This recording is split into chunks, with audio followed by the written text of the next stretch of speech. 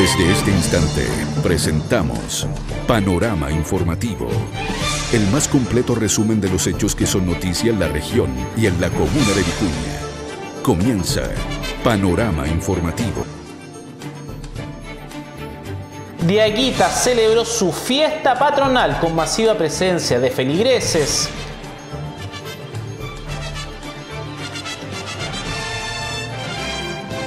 Municipio entrega subvención para nuevo sistema de alcantarillado en Andacollito, Campana y Puyalle.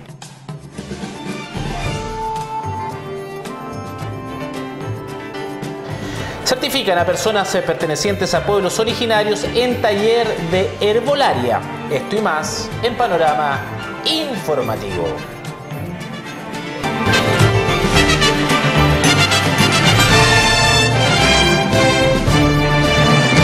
Hola, ¿cómo están? Sean bienvenidos y bienvenidas a la presente edición de Panorama Informativo, y como siempre llega hasta sus hogares por las distintas plataformas de Elquina Televisión. Y vamos de inmediato al detalle de las informaciones, porque los habitantes de los sectores de La Campana, Andacollito y Puyalle viven de hace algunos años con un grave problema a raíz del sistema de alcantarillado. Para comenzar a resolver este inconveniente sanitario, el municipio aprobó una subvención para la compra del terreno que les permita construir un nuevo sistema.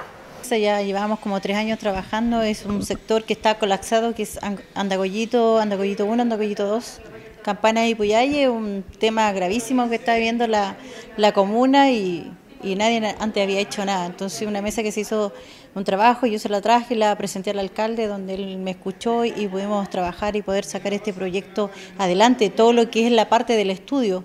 ¿Ya? Y el tema de la compra de terreno es una compra de terreno que nosotros teníamos que postular para poder comprar ese terreno pero eh, gracias a, los concejales y al mismo alcalde de que se pudo aprobar este, este terreno, esta compra que se hizo acá y no se postuló, eso es lo más importante, porque si nosotros hubiéramos postulado este proyecto no lo habíamos, lo había demorado mucho más. La verdad que es un problema de, ¿cuánto? 40 años, que la verdad que lo empezamos a abordar a partir del año 2015. Eh, y ver la posibilidad con los dirigentes, cómo podemos avanzar en el alcantarillado de los sectores de Andacollito, de Puyalle, de La Campana tres sectores emblemáticos de nuestra comuna, tres sectores que efectivamente requieren, como el resto de la comuna, alcantarillado, pero la gracia acá es que los convencimos que ellos hicieron el diseño. Y si es verdad que este diseño aún no se ha terminado, ya han pasado cuatro años, ellos lo contrataron, contrataron a un ingeniero, pero dentro de las razones porque se encontraron con algunos problemas. Por ejemplo, de que eh, las calles no estaban loteadas, había que hacer una regularización y ante eso efectivamente contratamos con recursos propios y también con esfuerzo de la PR, contratamos una profesional que se dedicara exclusivamente a la regularización de esto. Y para alguien que a lo mejor lo escucha por primera vez, que yo le diga que se demoró muy poco, porque se demoró un año en regularizarlo, va a considerar que es una barbaridad, pero muchas veces estos proyectos son bastante más lentos y la regularización de los loteos son más lentos que eso. Pero bueno, hoy día ya está terminado, estamos esperando el certificado de la DOM, que debería estar la próxima semana. Otro de los temas que evidentemente es importante para poder generar eh, las, soluciones sanitarias es tener un terreno para una planta.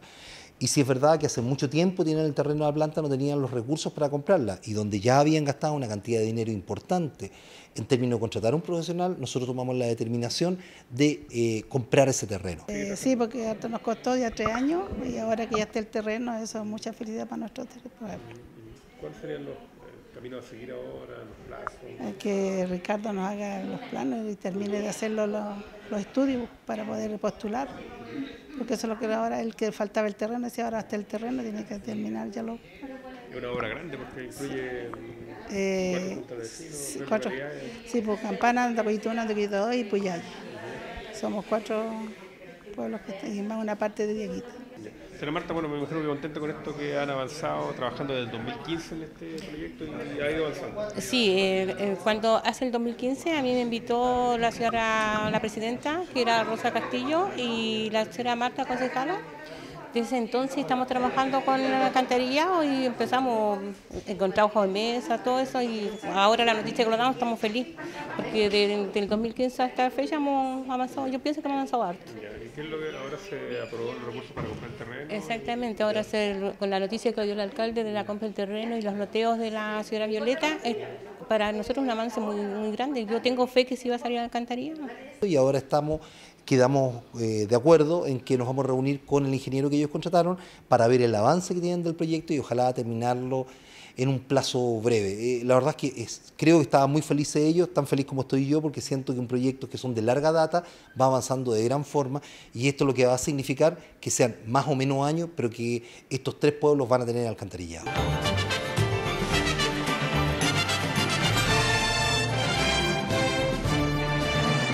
Y cambiamos eh, de tema porque con una gran participación tanto de fieles del sector como de turistas que visitan el Valle de Elqui, la parroquia Nuestra Señora del Rosario de Diaguita celebró su fiesta patronal.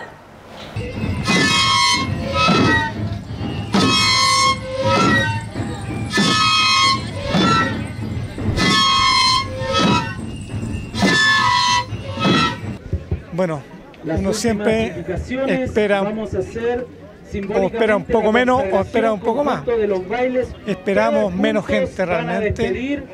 Así que que las personas se hayan acercado a nosotros es una gran bendición y las oraciones que estuvimos haciendo todo el año para que esta fiesta resultara eh, dio su fruto. La gente pudo estar acá. Una gran cantidad de baile también lo Una cantidad importante de baile también la Sí, ya perdí la cuenta de cuántos bailes estuvieron acá. De Coquimbo, de, aquí de la zona. Por supuesto, el baile contenta con esto que desarrollaron una masiva fiesta tuvieron el día de hoy. Eh, sí, tuvimos una masiva finalización de la novena que comenzó el viernes 27 y que concluye hoy con tres misas multitudinarias que yo encuentro que han estado muy buenas. Estuvimos mucho público, mucha devoción. Pero esta fiesta que, o sea, tres misas que comenzaron a las 8 de la mañana con la... Sí, a 8 de la mañana con misa de varones, vinieron 133 varones, después tuvimos un compartir fraterno ahí en, la, en el parrón, después la misa de 12 que estuvo el obispo y ahora la misa del peregrino. Agradecida por la gente que lo acompañó, por los bailes. Sí, de todas maneras muy agradecida, eh, mucha gente, mucha devoción, como les digo yo, y eso indica que todavía somos un pueblo católico, que todavía, a pesar de que la iglesia haya pasado por todas estas aguas turbulentas, eh, nosotros hemos visto que Cristo es primero. Y la verdad que creo que es la manifestación más grande que hemos visto en Diaguita en términos de esta fiesta religiosa. Tal vez coincide que habitualmente Sotaquí y Diaguita lo hacen en la misma fecha y en esta oportunidad de Sotaquí lo ha aplazado para la próxima semana.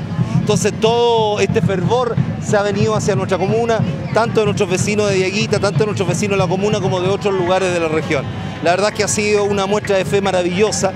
Nos damos cuenta que efectivamente los bailes religiosos convocan mucha gente, pero que la imagen de la Virgen María y que efectivamente eh, de la religiosidad que nos da una esperanza del día de mañana tener una, mejor ciudad, eh, tener una mejor calidad de vida. Yo creo que todo el mundo espera salud, espera eh, tener trabajo, tener buenas condiciones para enfrentar este año que viene, el año 2020 que estamos recién viviendo, pero particularmente estas fechas, eh, perdón, estos bailes nos llaman efectivamente a la reflexión y al anhelo, al deseo de que este año sea un año positivo para todo nuestro país.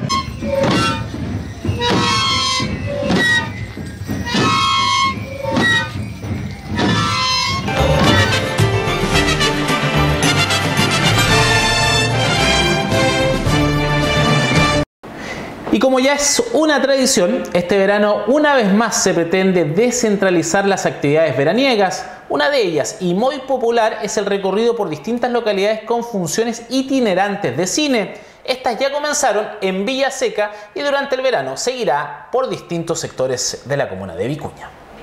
Alcalde, cuéntenos en qué consiste esto de Derechito al Cine, una actividad de traer el cine a las localidades. Cuéntenos un poco. Así es, la verdad es que bueno, hace tres años atrás, dos años de infracción, tomamos la determinación de llegar a los hogares, pero especialmente llegar a los más pequeños.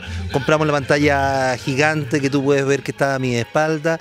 Nosotros tenemos un convenio con el Consejo Nacional de Televisión, donde estas películas no son pirateadas, son películas que nos entrega el Consejo Nacional de Televisión, pagamos la licencia para poderla exhibir y la verdad es que de esta manera nosotros le entregamos eh, a muchos niños en nuestra comuna. La actividad se realizó el año pasado igual acá en Villa Seca. ¿Cuáles fueron las reacciones después de, haber realizado y cuáles son las que se esperan ahora? Eh, sí, el año pasado también se inició esta actividad acá. Eh, la vimos eh, Hotel Transilvania. Los chiquillos quedaron muy contentos, quedaron muy sorprendidos por el formato de la película, que es a, gran escala, es una pantalla inflable bien grande. Entonces, muchos nunca habían visto la película en este tipo de formato, entonces quedaron bien, sorprendidos. Esta vez esperamos que, también queden sorprendidos, que queden con ganas de más, de más participación, de generar instancias de trabajo comunitario de tomarnos los espacios públicos y de entender de que es la forma que, tenemos que hacerlo, porque tenemos que, tomarnos nuestros espacios para que eh, otras personas, otras formas de, convivir no, no nos ganen, tomarnos nosotros los espacios. El cine aquí a las calles, derechito al cine se llama esta actividad, cuéntenos. Me parece súper entretenido porque así podemos también compartir con todos los vecinos una película especialmente para los niños y nos sirve a nosotros también para poder compartir con los adultos. Hace tiempo que no nos vemos con algunos vecinos. Cuéntenos, ¿qué tal le parece la experiencia de traer el cine a las calles con esta actividad derechito al cine? Eh, me parece espectacular porque en los pueblos es difícil que llegue el cine a nuestros pueblos, entonces me parece espectacular. ¿Hay alguno de sus hijos participando aquí? Están mis dos hijas menores. ¿Y también le entregaron palomitas o no? Sí, alcanzamos a comer palomitas.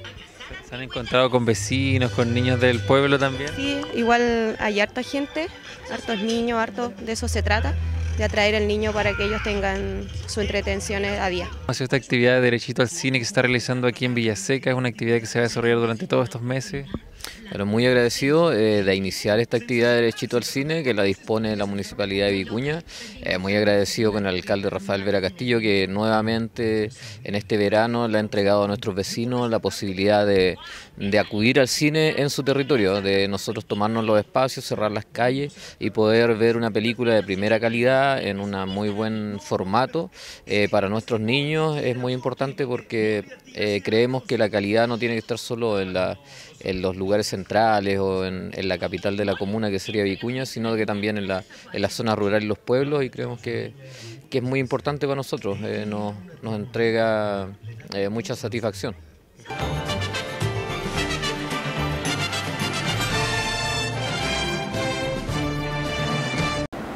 Preste mucha atención porque la elaboración de ungüentos medicinales elaborados con karité, aceite de almendras y con las hierbas que cada participante aportó fue el resultado de un taller organizado por el municipio. En él, 15 personas, muchas de ellas familias como por ejemplo madre, e hijo y abuelo con nieto, pertenecientes a diversos pueblos originarios, participaron durante los meses de noviembre y diciembre.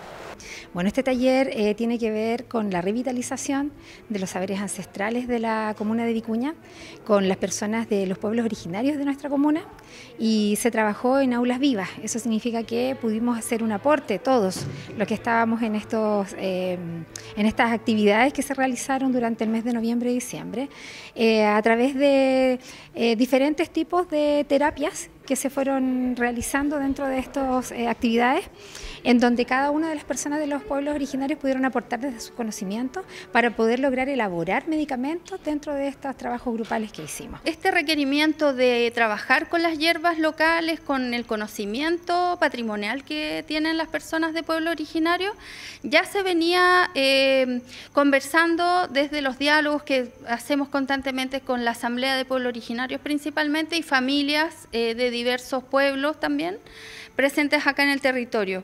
Y siempre salía como esta necesidad, digamos, de rescatar las hierbas locales de alguna u otra manera, siempre aparecían los requerimientos. Entonces, cuando llega Jimena Gutiérrez a la oficina como colaboradora, como un apoyo profesional, ella inmediatamente ofrece este taller y empezamos rápidamente a, buscar la manera de poder concretarlo. Entonces, como ella tenía el conocimiento, digamos, más técnico en cuanto a crear ungüentos, aceite, eh, solo había que conectar las ganas de las personas con el conocimiento acabado que tienen del territorio y de sus hierbas locales, eh, con este eh, conocimiento técnico que era transformarlo a un producto elaborado con estas hierbas. Entonces se crea este grupo con las personas interesadas y se hicieron aproximadamente 12 sesiones que fueron muy entretenidas porque la verdad es que hablamos muchísimo sobre hierbas, las propiedades, si bien nos guiábamos con,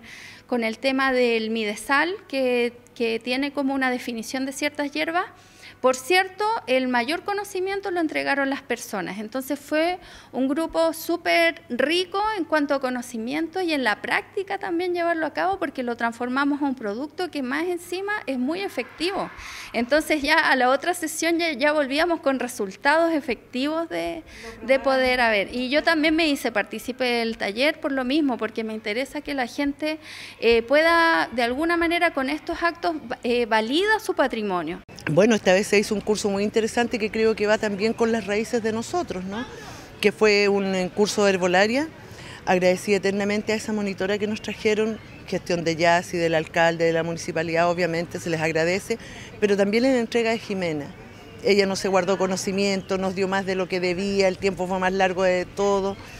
Así agradecí a ella y en sí el curso rescata parte de nuestras raíces, porque el rescate de las hierbas, los engüentos que antiguamente se hacían y ahora ya están perdidos en el tiempo, como que los maneja la abuelita, y esto está haciendo ahora en este minuto más, más asequible a todo y nosotros estamos trayendo la cultura de los pueblos originarios a la comunidad, a la ciudadanía, para nosotros. Eh, lo encontré muy interesante. Las hierbas medicinales son algo que nos acompaña desde probablemente desde, el nacimiento del hombre y la mujer y se han ido perdiendo por diferentes razones. Eh, la verdad que hacer este tipo de talleres y entregarle herramientas a mujeres y hombres de nuestra comuna, que algunos tenían conocimiento en algunas áreas, pero no en otras, de que se vayan traspasando los conocimientos en forma generosa, creo que ha sido una gran idea. Eh, la verdad es que eh, nosotros tenemos dentro de nuestro equipo municipal una persona que tiene muchos conocimientos de esto, que es Jimena Gutiérrez, le pedimos que hicieran los talleres y la verdad es que la conversación última después de las certificaciones que querían más talleres con Jimena. La verdad es que tenemos que llegar a toda la comuna, no solamente a un sector, pero sí eh, nos hemos comprometido que efectivamente habrán otras oportunidades que puedan eh, eh, sumarse a talleres que Jimena esté realizando en diferentes lugares. Eh, quizás en algún momento podríamos complementarlo con un terreno de ir a buscar las hierbas, que eso también es una actividad necesaria para los pueblos originarios en cuanto a reconocimiento territorial, ¿cierto?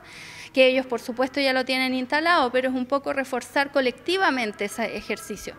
Así que cuando hicimos este intercambio de conocimientos, bueno, algunos teníamos conocimientos de, hierbas o de productos de otras localidades, otras que han sido insertadas de afuera, pero también se le dio mucha relevancia a las hierbas locales y nativas.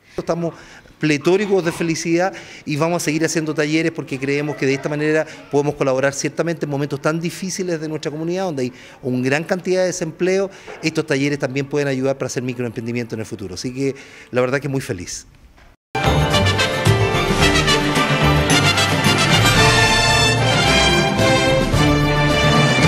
Y continuamos con una muy buena noticia para los amantes de la lectura, pues la Corporación de Cultura del municipio de Vicuña se adjudicó un proyecto para la realización de una nueva versión de la Feria del Libro Gabriela Mistral. En toda una tradición se ha transformado la Feria del Libro de Vicuña Gabriela Mistral, que organiza año a año la Corporación Municipal de Cultura y el municipio local, la cual en su última versión congregó a cerca de 10.000 personas en sus ocho jornadas. Vecinos y turistas que nuevamente podrán disfrutar de esta actividad gracias a que se logró obtener el fondo del libro y la lectura que entrega el Ministerio de la Cultura y las Artes y el Patrimonio, aporte que este año asciende a más de 20 millones de pesos, recursos que significan un tremendo apoyo para el financiamiento de esta actividad, más aún considerando cuando la más reciente se desarrolló solo con recursos municipales la feria destaca por la presencia de connotados escritores y editoriales nacionales, también charlas, actividades de fomento a la lectura para todas las edades y presentaciones artísticas, instancia que se ha consolidado en todo el norte del país como uno de los encuentros literarios más relevantes, donde además se mantiene el sello y legado de una de las poetas latinoamericanas con mayor renombre a nivel mundial, como lo es la Nobel de Literatura Gabriela Mistral, la Feria del Libro de Vicuña es un panorama regional obligado en vacaciones de invierno que cada jornada reúne a miles de personas en la comuna alquina.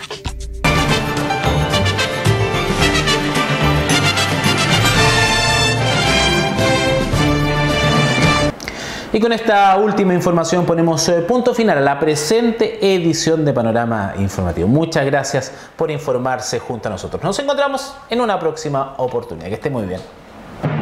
Hemos presentado Panorama Informativo, el más completo resumen de los hechos que son noticia en la región y en la comuna de Vicuña. Panorama Informativo seguirá trabajando para mantenerlo bien informado.